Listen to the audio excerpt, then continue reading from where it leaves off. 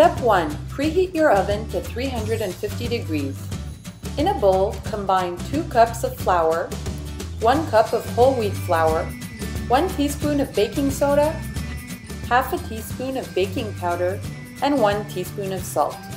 For the wet ingredients, you'll need 1 and a half cups of sugar, 1 cup of vegetable oil, 3 eggs, 4 ripe bananas, and pure vanilla extract.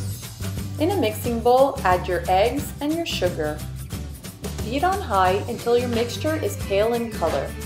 Slowly add your vegetable oil and your mashed up banana. Add 1 tablespoon of vanilla extract and finish mixing.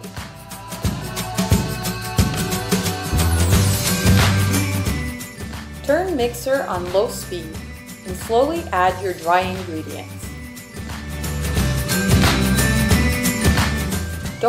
Don't or your muffins will come out hard. Now it's time to add half a cup of chocolate chips.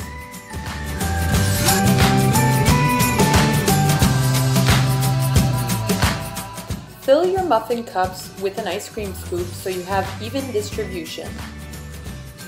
Top with more chocolate chips.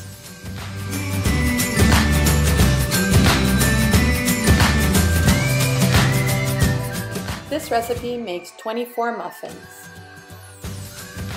Bake for 25 minutes or until golden brown.